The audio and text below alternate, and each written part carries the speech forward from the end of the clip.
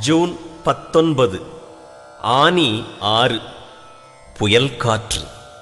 காமம் குரோதம் என்னும் புயல் காற்று என் மனத்தினுள் வந்து அடியாது. இறைவா என்னை பாதுகாப்பாயாக. புயல் காற்று உறுதியற்ற மரத்தை அடித்து வீழ்த்துகிறது. சிற்றின்பம் நாடுபவனை காமம் என்னும் புயல் காற்று வீழ்த்துகிறது. மலை ஒன்றை புயல் காற்று ஒன்றும் செய்ய முடியாது. ஆசையை அகற்றி அளவுடன் அருந்தி புலன்களை வென்று பேரூக்கமே வடிவெடுத்திருப்பவன் மலை போன்றவன். புலன்கள் எனும் புயல் காற்று அவனை ஒன்றும் செய்யாது.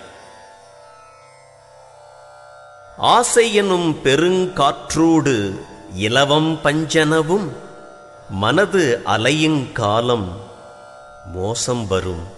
இதனாலே கற்றதும் கேட்டதும் தூர்ந்து முத்திக்கான நேசம் நல்வாசமும் போய் புலனாயிர் கொடுமை பற்றி நிற்பர் அந்தோ.